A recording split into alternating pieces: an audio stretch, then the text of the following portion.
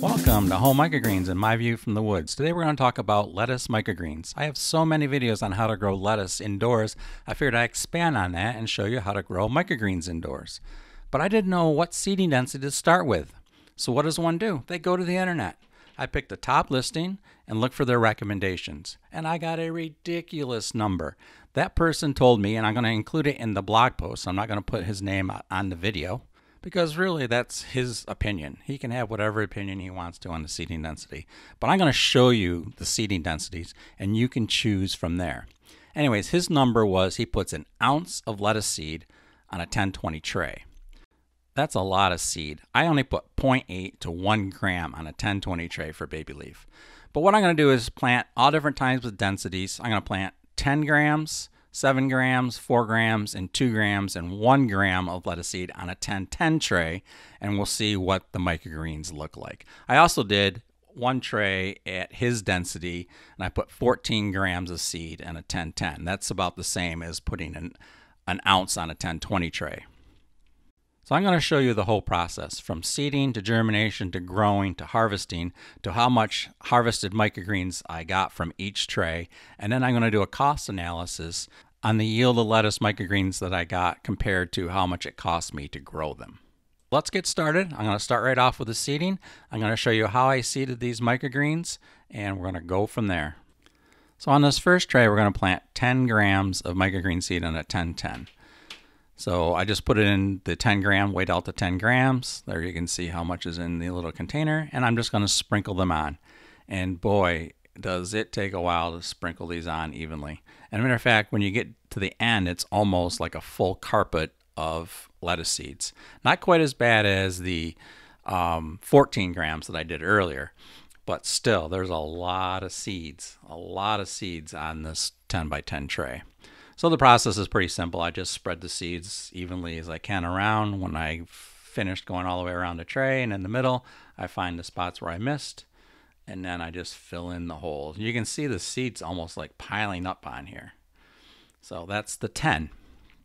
Now I'm going to go through these other ones. I'm going to show you a close up of the seeds. I'm going to go through these other ones much faster. I just want to show you how much seed is actually going on these trays so you get some idea. So the next one is 7 grams of seed. I just picked these arbitrarily. I did the 14, um, I did a 10, I did a 7, and then I'm going to do a 4 and a 2. And eventually I redid this experiment because I didn't have room at the time. I did a 1 gram per a 1 gram per 1010 tray. So you're going to get a good cross section. I let them all grow and then I harvested them and we weighed how much the yield is. But you're going to see this whole process. Again, this is abbreviated, but I just want to show you so you get some idea on how much seed is on these trays. So now we're down to four grams of seed. This is a little bit more reasonable. And you can see this is great videography here of my arm. Yep, it's just it's, it's just wonderful. But you know, when you do this four or five times in a row, you just kind of want to get it done. So, yeah, it is what it is. But the main thing are these close-ups. I wanted to show you the whole process because some people complain that like, well, you didn't do this or you didn't do that. So I wanted to make sure that you saw exactly how I was doing this whole thing. So that's the four grams. now we're going to get down to the two grams. I like I said, I didn't have time to do one gram here, but I did it later. And it, obviously, it's not the same. The temperatures were about the same. So I did this in November, so that the temperatures inside the house were pretty pretty regularly around uh, the high 60s.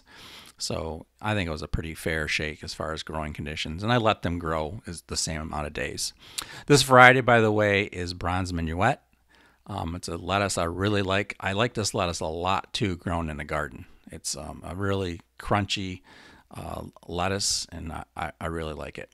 So now we're going to put these seeds into the blackout, or should we say the light out, because lettuce seeds do seem to germinate better underneath lights. So here I'm just showing you that I'm seeded these trays. I'm just going to use a spray bottle and mist them down. Um, I did pre-wet the trays before I put the seed on them. And now I'm just making sure I'm spraying the mist or misting these seeds down so they make good um, seed to soil contact. And then I'm going to push them underneath the lights. These are uh, 600, 6,500 Kelvin Barrina lights. They're, it's a four foot shelf. And conveniently, these 1010 trays, if I put two of them together, I can actually put a 1020 dome over the top of them. That's how I germinate lettuce. I just sprinkle it on the top, mist them down so there's good seed to soil contact, and I put a clear dome under them so some light goes through, but the dome holds in the humidity. I'm going to show you a front view here.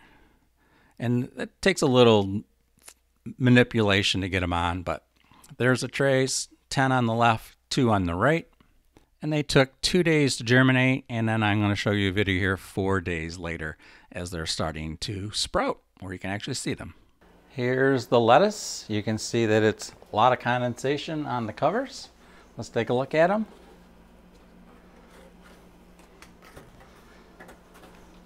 Let's throw these on the ground, I guess.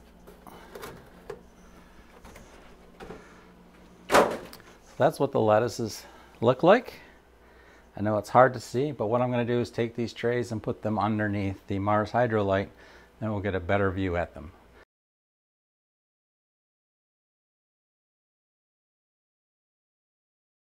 Here are the six trays we're going to talk about. This tray and this tray are the same variety.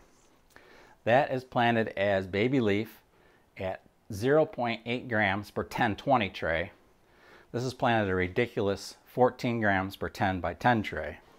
These are the bronze lettuces. This is at 10 grams, 7 grams, 4 grams, and 2 grams in 10 by 10 trays. you can see there's quite a bit of difference between these two. These have had room to grow, spread out. You can see the leaves are bigger, but shorter. These have really started to grow their true leaves, but they're just competing with each other. They've grown tall and really tight. And inside, they still look pretty good. There's really, eh, there's a little bit of yellowing inside, but that's pretty dense. Now, this is the recommended seeding density that I found online, which is just ridiculous. Even this 10 and 7, I think, are going to be too dense. Maybe this 4 and 2 will be good, but we'll see. That's what the whole example is about. So it's been, um, I forget how many days. I'll put that right here in the, in, as a caption. But these are going under the light for the first time. We've had them underneath the light under the dome which sort of get blocks some of the light. But now they're under a direct light. This is a Mars Hydro 2000 uh, light. It has quite a bit of heat, not down here, but up here it's a little bit warm, so we have to watch the distance. This is about 18 inches, and it's time to water them. So I'm gonna grab some water and I'll show you how we're gonna water these trays. Watering's pretty simple. I'm just gonna show you in one tray. I take about generally a cup of water, maybe a little bit more than a cup of water for 10 by 10 tray, two cups for a 10 by 20 tray. The first time you water them like this, because remember, we've just wetted the surface. We didn't wet the soil all the way down through. There's no sense of having that extra moisture there. The seeds didn't need it at the time. Now the plants do. I generally put in about a cup and a half the first time. So this is the planting tray. Pull these apart here. Sometimes they're on there pretty tight. So this is the planting tray, this is the watering tray. And it's just a matter of putting the water in the planting tray and the watering tray, putting this on. That water will be soaked up through there. So when lettuce gets as dense as, not necessarily these, but as dense as these trays are, you really have to be careful um, and make sure that they get enough water. And we're going to water these other three right after I get off the film. But I want to show you this. This is a 1010 tray. This is a microgreens. And this doesn't really need water, but I'm going to show you anyway. So this is a 1020 tray. This is a 1010 tray. Makes watering a little bit easy. You just take the water and you dump in, in, and then generally what I do is just lift the tray a little bit. Let the water get through set it down. Make sure the water runs to the other side. And that's it. If there's extra water left after a couple hours, then I just gently dump it out.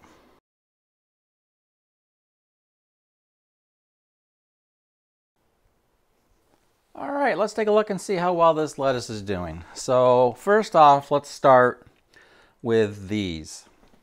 Again, these are the bronze lettuce. This is 10 grams per ten. These are all 10 by 10 trays and I planted 10 grams, 7 grams, 4 grams, and 2 grams. And you can see the trays that have more seed in them are growing taller, right? The competition's forcing them up, looking for light. The ones with less seed have bigger leaves. I prefer to grow lettuce microgreens, or not really microgreens, but baby leaf like this. This is 0.8 grams per 1020 tray. Don't worry about this. This is just a poor seeding area where I just didn't get seed. And this is the same variety over here, planted at a ridiculous recommended density of 14 grams per 10 by 10. So they wanted to plant basically an ounce per 10 by 20, which is 28.35 grams. So I just split that in half. And you can see what's interesting. Remember if I showed you before this area that had a little bit of dieback on it? Well, the lettuce that's grown into it has bigger leaves. You can also see that the leaves are, are sloped like this and to a lesser extent over on the larger leaves the same way. That's because there's less light out here than under here. So that's, you can see the effect of lights. The stronger the light, the denser the growth will be. The weaker the light, the taller the growth will be. But this is, uh, I believe it's Grand Rapids lettuce, and it is getting a little bad on the inside. But this is as far as I want to take it. But even if it is bad, that's okay. This will show you how many days um, not to grow it to, in other words, cut it shorter, and we'll still get a good mass out of this. So uh, when I, I'm going to move this into the kitchen area and I'm going to harvest it and we're going to weigh it and see how much we get out of it. But I'll do a close-up of these so you can take a look. So I'll, when I do the close-up, you're going to see this one first, then this one, then this one, then that one. That is the 10 gram per 10, 10 tray. This is the 7 gram per 10 by 10 tray. This is the 4 gram per 10 by 10 tray. And this is the 2 gram 10 by 10 tray. You can see right here, these are starting to get bronze, starting to get a little bit of color to them. I think what you're going to find out, there's going to be more color on the less, less dense greens than the dense ones. But that's what we're experimenting. Okay, so now we're going to go and we're going to harvest this and see what we get out of it. It is day 20 and we're going to harvest these microgreen lettuces. You'd probably want to harvest them before day 20, but I want them to grow uh, just to see what they would do. So again, these are 10 by 10 trays. This is uh, 10 grams, 7 grams, 4 grams, and 2 grams. And we're going to cut them, weigh them, and then compare them by weight by price to see what the difference is. You can definitely see the leaf size. The smaller or the less seed you add, the bigger the leaves get, which makes sense. These are a little bit dome taller because they're competing and forcing themselves up. These are more spread out with much more leaves, a lot more color. Especially if you just turn them. You see there's a lot of color in these. So let's get harvesting. We're going to take them into the kitchen and we're going to harvest these. We'll start with the 10, the 7, the 4, and the 2, and we'll weigh them and see what we get.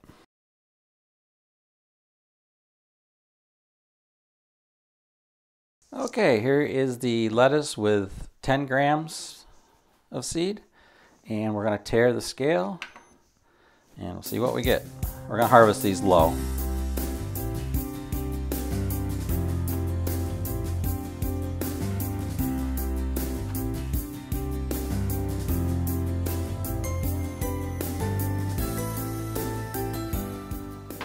You can see they're pretty good inside. There's really no yellowing yeah, there's a little bit in here. You can see a little bit, right? It was a little bit too damp, too wet, too tight. Maybe at a younger age. So again, these have been 20 days.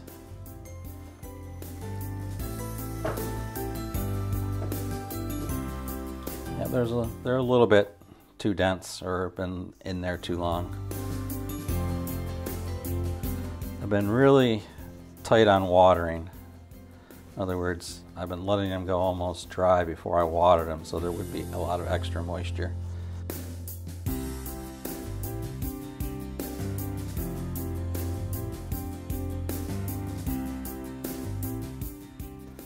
So I don't know if you can read the scale, but it is 9.7 ounces.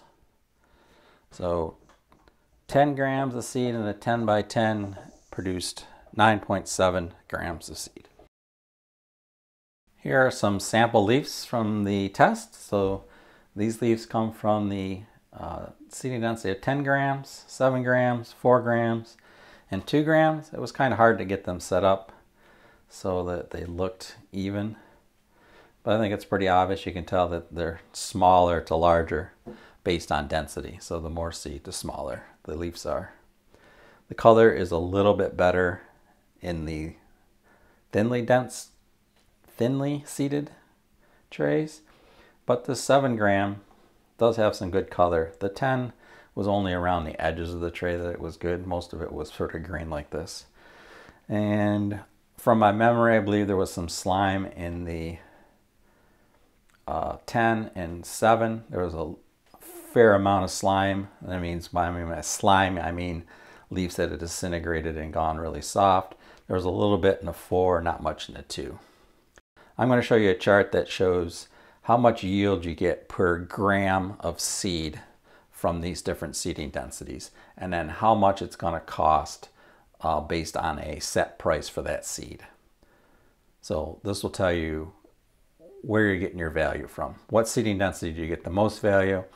And by looking at the videos, you can tell by yourself, I'm not going to choose for you, which leaf size you like and how clean you like them. As I said, we reran the test using one gram of lettuce on a 1010 tray. And here are the results. Let's take a look at the blue line first. This is how much lettuce we got off each tray. So for one gram of seed, we got 3.3 ounces of lettuce. For two grams of seed, we got 5.5 grams of lettuce. Four grams of seed, 7.1 ounces. Seven grams of seed, we got 9.3 ounces. 10 grams of seed, 9.7 ounces. And for 14 grams of seed, we only got 10.4 ounces of lettuce. So as you can see from the blue line, there was a steady increase in yield per gram per gram of lettuce seed up until about 7 grams. Then it started to level off. Next, let's take a look at the yellow line. This is how much it cost considering only seed for each ounce of lettuce yield we got. And we're going to be basing this on the lettuce seed cost of $9.98 per ounce, which is pretty reasonable. So again, we're looking at the yellow line. This is how much each ounce of lettuce that we harvested cost, just considering the seed. So if we use one gram of seed, each ounce of lettuce cost 11 cents. Two grams cost us 13 cents.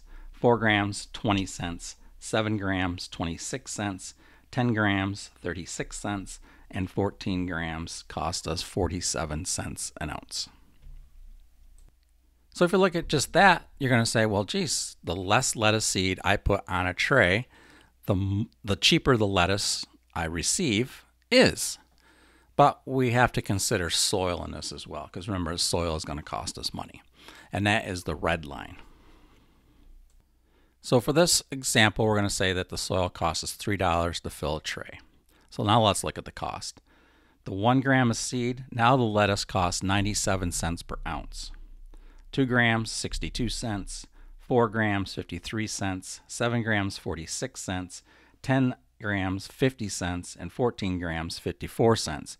So you can see that there is a point of return here whereas you add more seed the price per ounce of lettuce that you harvested goes down until you reach a certain point and then it goes back up.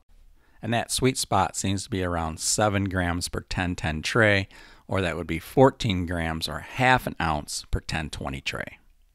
So we also have to consider how the lettuce microgreens looked. And truthfully, the seven grams did have some spots of rot into it. So it might be a little dense. Now, however, I did let them go 20 days. Maybe the rot wouldn't have been so bad if I only let it grow 15 days. That's something you'll have to experiment with. But still, from this experiment, it seems like you get somewhere around six to seven grams per 1010 tray or around a half an ounce per 1020 tray, maybe a little bit less. That is the sweet spot as far as cost per yield of lettuce for lettuce microgreens. There are more indoor lettuce videos linked down below. And don't forget, for more gardening information, visit myviewfromthewoods.com. And if you want more information on microgreens, go to homemicrogreens.com. And we also sell high quality, reasonably priced, non GMO seeds for both microgreens and for the garden. So please visit those websites. I'd really appreciate it. And don't forget to subscribe and click that notification button if you want to see more videos like this.